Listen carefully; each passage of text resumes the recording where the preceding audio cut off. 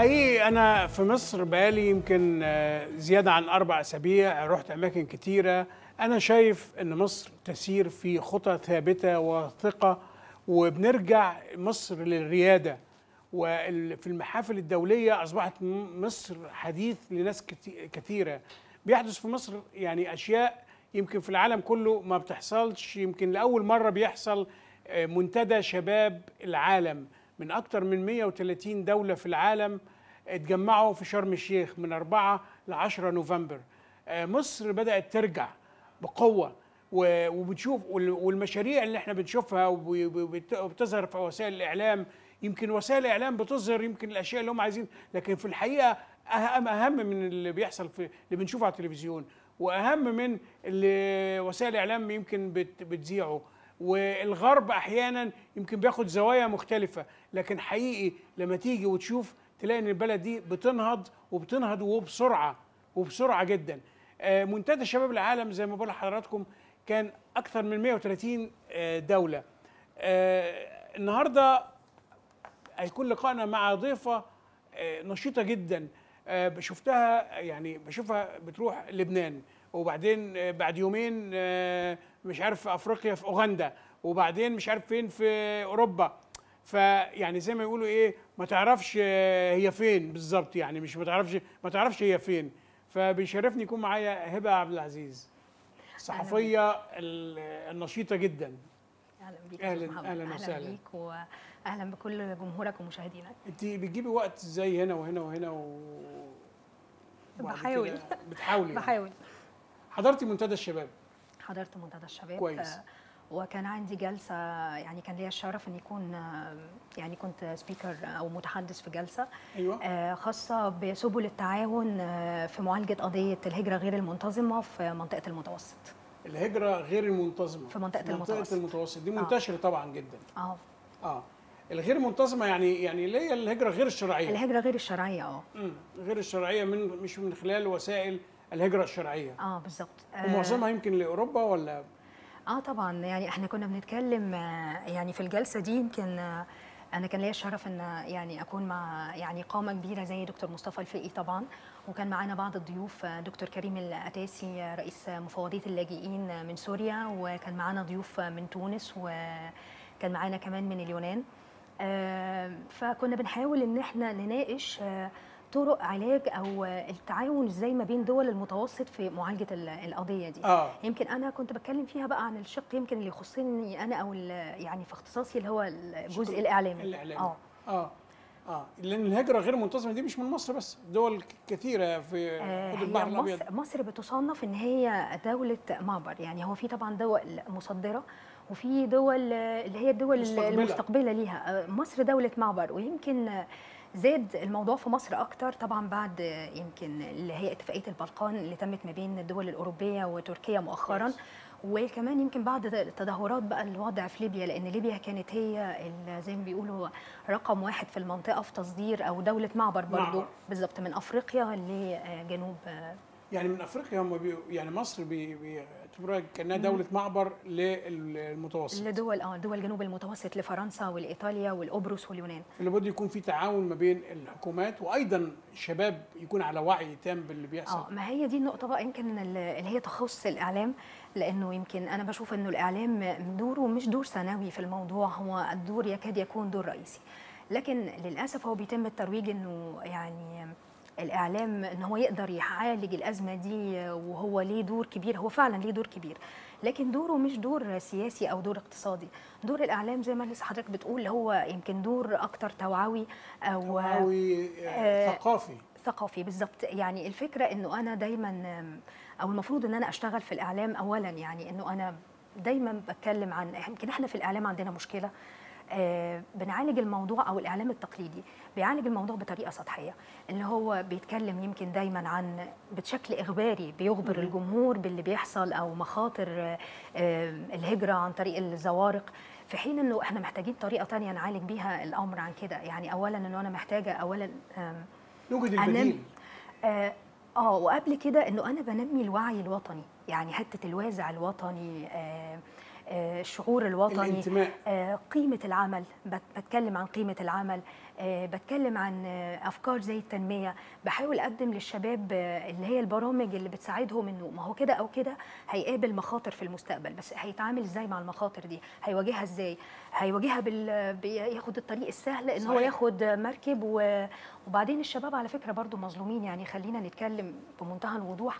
لأنه أنا حقيقي بستاء جدا بشكل شخصي لما بتلاقي ناس بتقول الشباب دول ما عندهمش وطنية الشباب دول ما بيحبوش بلدهم. آه يمكن في بعض الشباب اللي نجوا من يعني حادث الموت آه. الأخير ده اللي كان السنة اللي فاتت طبعا و يعني. يعني بس الحمد لله يعني إحنا برضو خالص. طبعا. آه. قالت وخلينا يعني نقول ده راجع طبعا يعني مجهود من الجهات الأمنية بالإضافة برضو لبعض المشروعات القومية اللي هي إن شاء الله هن يعني دي هنتكلم فيها دلوقتي هنتكلم فيها. ويعني مشروع يعني كان له هدف يعني اللي فكر فيه عبقري فعلا المشروع اللي هنتكلم فيه بالنسبة لكفر الشيخ. آه بس قبل ما قبل ما ندخل على كفر الشيخ وال- والمزارع السمكية المنتدى إيه أهم النتائج اللي أنت حضرتك شفتي إن أنت خرجتي بيها من هذا المنتدى؟ آه خليني بس هكمل لك الجزئية بتاعت. الجزء بتاع الإعلام وخلينا ندخل في في الجزئية بتاعت المنتدى دي لأن دي يعني كان في مجموعة كبيرة من الرسائل المهمة جدا اللي يعني لازم نحاول نركز عليها. كويس. آه، زي بس الفكرة بتاعت الإعلام إنه يعني المفروض إن إحنا نركز أكتر على برامج توعوية بتركز على الأسباب وعلى المخاطر. ممكن نحاول نعمل ده مش بشكل بس برامج إخبارية بتخبر الشباب أو الجمهور. لا إحنا ممكن ندخل السينما وندخل التلفزيون في حاجة زي دي. صحيح. ونحاول نرفع بقى من يعني قيمة العمل وإنه نقدم نماذج. يكون آه، يمكن السينما عندنا والتلفزيون يكون واقعي شوية. آه، يكون يكون واقعي ما يبقاش ال- الج- الجاب أو الفرق كبير بالظبط. ما بين المجتمع وما بين اللي بنشوفه على الشاشة. فعلا إحنا محتاجين كده يكون أكتر واقعية وإيجابية. وإيجابية ما. نركزش على السلبي واعمل عليه يعني فيلم آه يمكن يعني في الوقت الحالي يمكن طبعا دي ده في حرية تامة ولكن في الوقت الحالي لابد إن إحنا كمصريين وبنحب بلدنا إن إحنا نركز على إيجابيات نرفع من الروح المعنوية. بالظبط خاصة وإن قطاع الإعلام يمكن عشان كده أنا بقول إن هو دوره مش مش ثانوي أبدا في الموضوع ده دور رئيسي. أساسي. لأنه أولا بيأثر في قطاعات عريضة جدا. دي كويس. نمرة واحد. نمرة اتنين إنه بيأثر كمان أو ممكن أستخدمه في التأثير في القيم المجتمعية اللي هي بتأثر بالسلب على ظاهرة الهجرة غير غير المنتظمة أو الهجرة غير الشرعية. آه السينما طبعا وال- والمسلسلات واللي دي قوة ناعمة.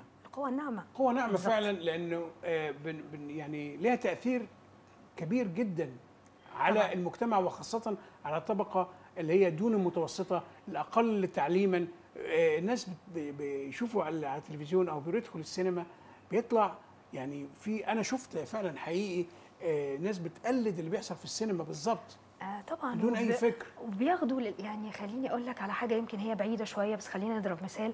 يعني ممكن تشوف فيلم أمريكاني وهو فيلم كله أكشن و بس بتلاقي مثلا البطل ماشي في الطريق والدنيا بتمطر وقف العربية وجاب كلب أو قطة وطبطب عليه وأخده معاه دي رسالة.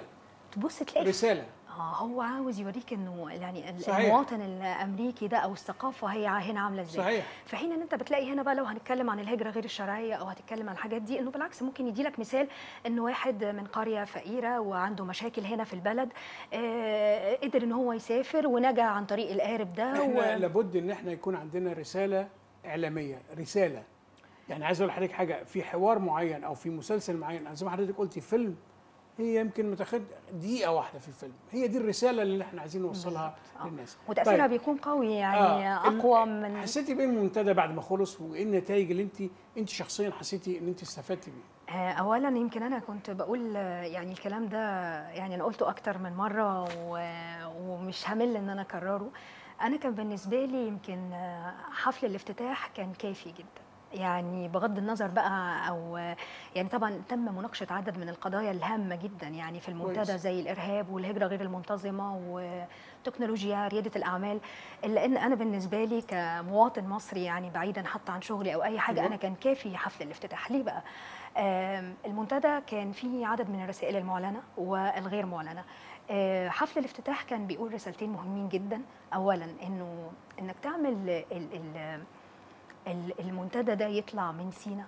سينا اللي هو للأسف برضو يعني إحنا عندنا مشكلة خطيرة جدا في الإعلام إنه إحنا وده بيتم ترجمته بره يعني بشكل بيسيء خلينا أيوة. نقول مش هبالغ لو قلت بيسيء للأمن القومي في مصر وللسياحة إن أنا بقول الإرهاب في سيناء الإرهاب في سيناء.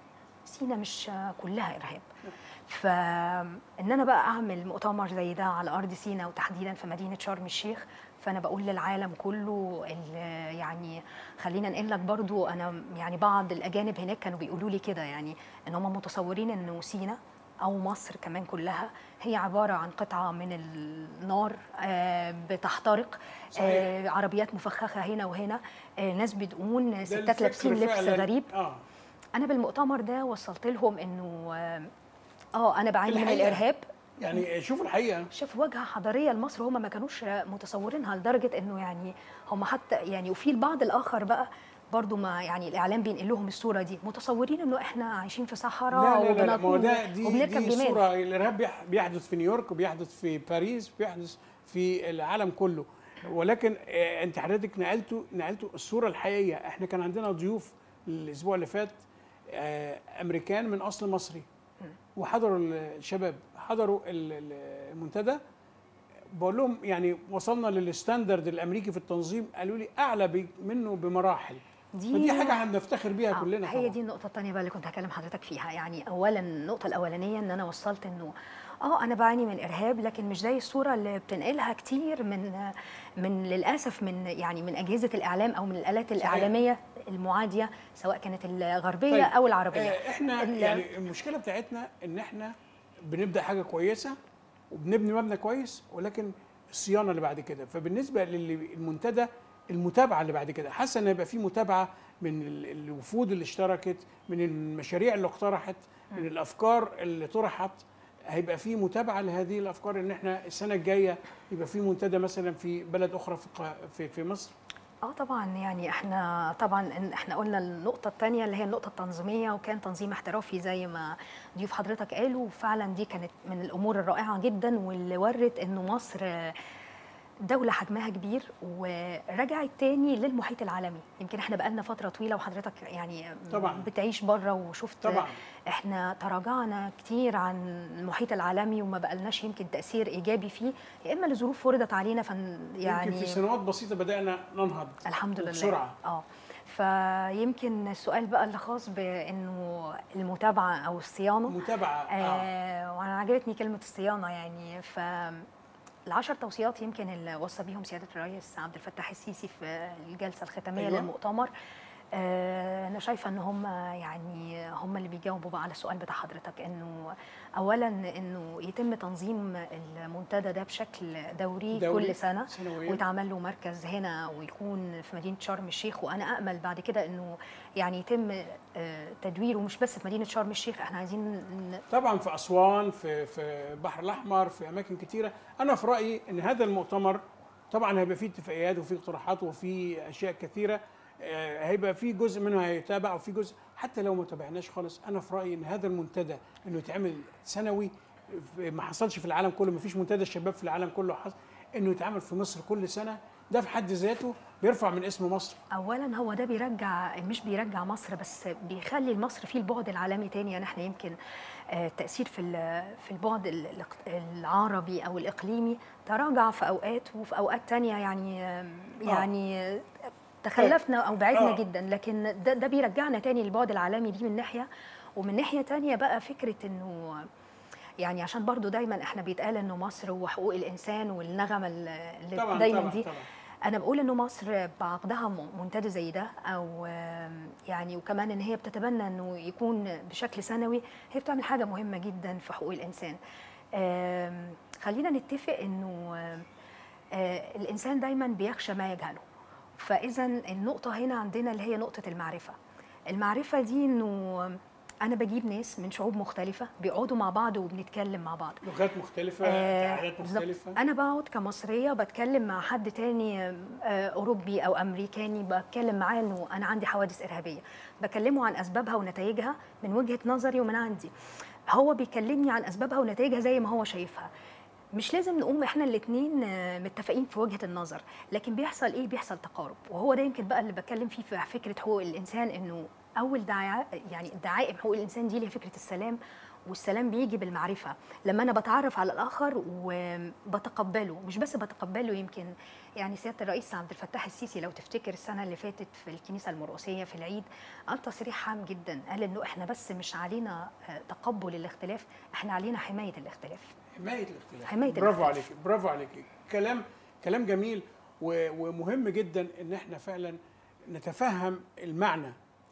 آه. آه، لأنه الاختلاف إحنا مش عارفة ليه الحقيقة أنا مش بقدر يعني أنا حتى أستوعب الفكرة دي إنه بس هو في نقطة أنا ب- يعني زي ما بقول لحضرتك دور الإعلام دور هام جدا ولا بد إن إحنا يبقى في نوع من أنواع يعني هقول في الإعلام مثلا الغربي أو في أمريكا آه، بيحدث مثلا حادث إرهابي إرهابي كبير واحد دخل التضخيم والتهويل. آه ضحايا مش عارف 60 وجرح 100 وشوية.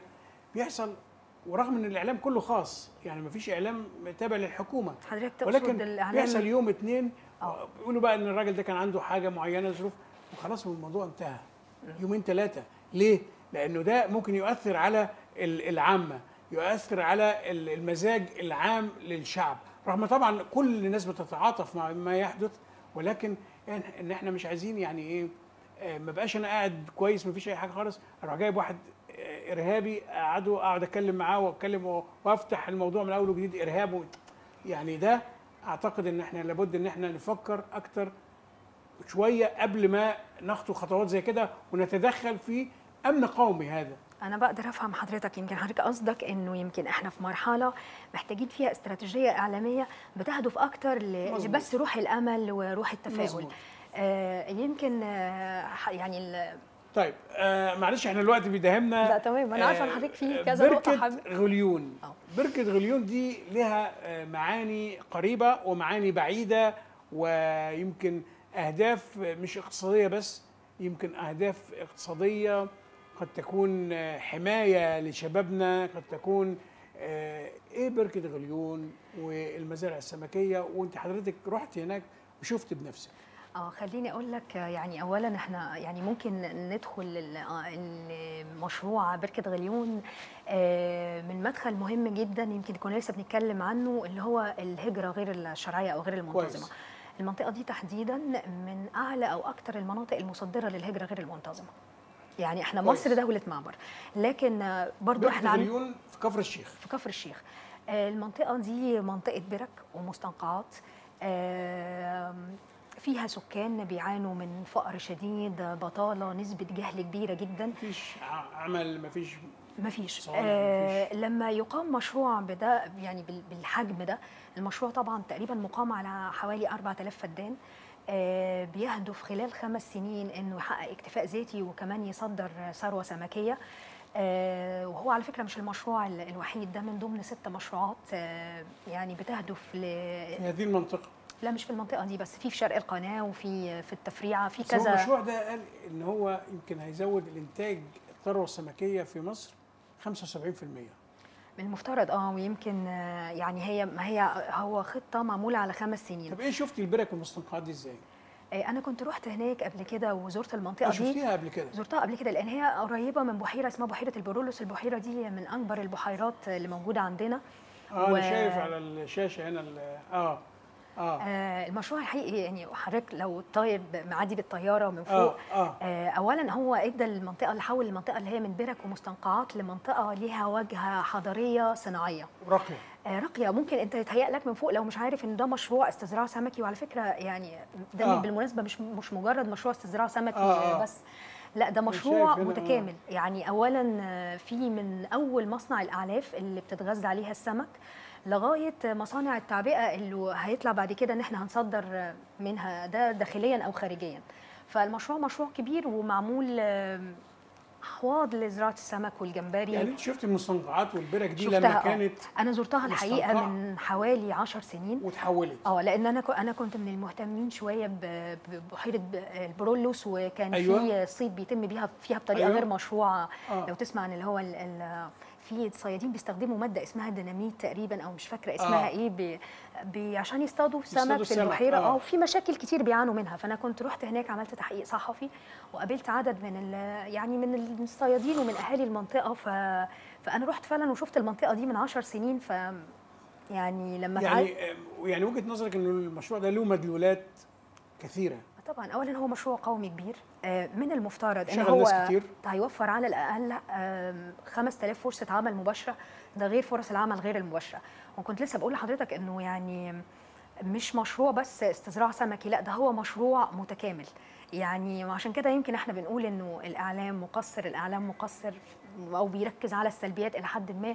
فإحنا فعلا مقصرين في الإعلام إن إحنا ما بنتكلمش عن المشروع ده من كافة الأوجه بتاعته. أو إحنا مش عايزين بس نصور المشروع من بعيد وبالطيارة ونحط صور وكده. إحنا عايزين ناس تروح بجد وناس تشوف الكلام ده وتمشي في وسط ال- المشاريع دي. وتتكلم مع مع الشباب بالظبط. اللي اللي بيدوروا على فرصة عمل ولقى فعلا بالفعل طيب إزاي شايفه يعني كيف ترى المشاريع اللي هو الرئيس بيفتتحها؟ آه، يمكن يوم بعد يوم في مشاريع كثيرة. وفي ناس آه، أو أو في ناس في الشارع بيقول لك إن إحنا مش محتاجين للمشاريع دي دلوقتي. إحنا عايزين حاجة عايزين فلوس عايزين ناكل ونشرب ونعيش بطريقة أفضل. انت شايفه و- نظرتك لها إزاي؟ طيب هو خلينا بس نقول حاجة يعني ودي يعني إحنا مش بنبالغ فيها. إحنا للأسف بقى عندنا حالة استقطاب شديدة جدا في الشارع المصري. كويس. الإعلام مساهم فيها مساهم فيها. آه، طبعاً. مساهم فيها بدرجة كبيرة للأسف بدرجة كبيرة. لأن إحنا بنلاقي حالة استقطاب على الجانبين. كويس. يا ناس آه، بتنتقد لدرجة الإساءة طول الوقت زي اللي حضرتك بتقول عليهم آه، دول آه، إيه يعني أنا لدرجة يعني أنا فاكرة في حد كده كنت بتكلم عن المشروع. فبقول إن المشروع يعني خطة معمولة آه، يعني هنجني ثماره خلال خمس سنين. قال لي أدي أول القصيدة كفر. خمس سنين؟ ما هو كله خمس سنين. ما هو هو أنا مش المفترض إنه أنا بزرع زرعة والنهاردة هحصدها. يعني بالظبط يعني بالظبط وهتلاقي على الجانب الآخر إنه برضو في بعض الأجهزة والوسائل الإعلامية اللي هي بتبالغ قوي لدرجة يعني طبعا. آه طبعا أنا يعني عايز أتكلم معاكي في حاجات كتيرة وقت دايما بيداهمنا. وعايز أشوف انت رحتي أوغندا و- وهنتكلم آه، هيكون لنا لقاءات أخرى إن شاء الله. وتشرفينا زي ما بت- بتروحي كده أوروبا وأفريقيا والدول العربية لابد إن يكون لك زيارة في أمريكا. في. حاجات كتيرة ممكن تغطيها من هناك ويكون لنا لقاء هناك. بإذن الله. أنا بشكرك هبة عبد العزيز الصحفية الناشطة جدا. وفاصل وبعده مع كرة القدم الأمريكية ولكن المرة دي في مصر. ابقوا معنا.